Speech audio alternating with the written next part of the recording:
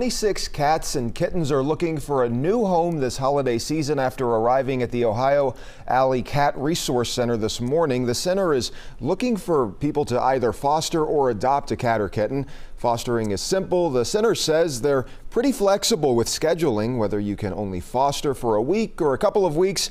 For those that may have never fostered but are interested, the clinic has a foster coordinator who can help answer any questions or go through some training. Chris Seelbach, the center's executive director, says Ohio Alley Cat is a magical place.